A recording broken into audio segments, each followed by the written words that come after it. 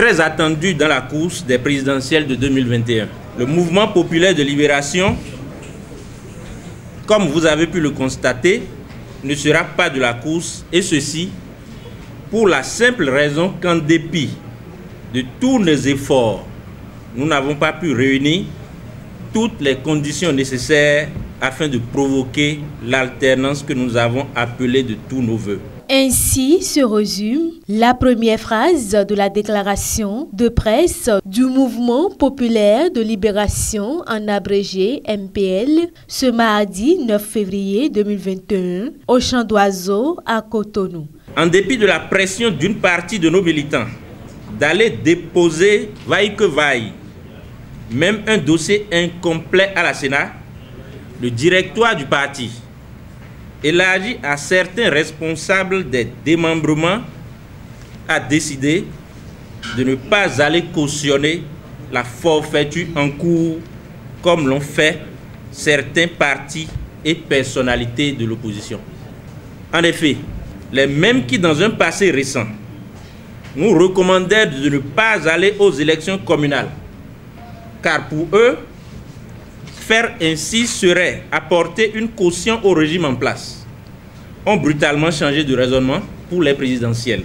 C'est le lieu de rendre un hommage au ministre Galiou Soglo, à qui nous souhaitons d'ailleurs prompt rétablissement.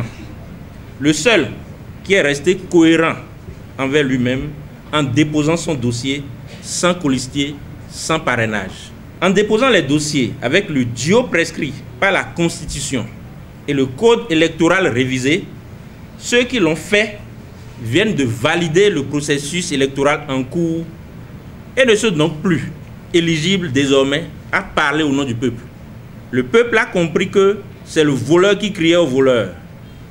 Le mouvement populaire de libération n'est pas un parti de compromission.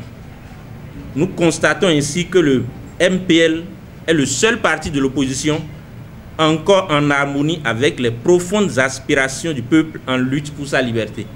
Nous appelons ainsi tout le peuple béninois en général à dire non à l'imposture, non à la manipulation, non au pouvoir et ses alliés démasqués, et venir pour qu'ensemble, nous menions le juste combat, celui de notre avenir.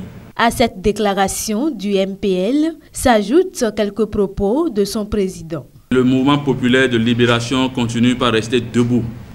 Nous avons décidé de ne pas déposer notre dossier pour ne pas donner caution comme la déclaration liminaire l'a clairement signifié, pour ne pas donner caution au processus.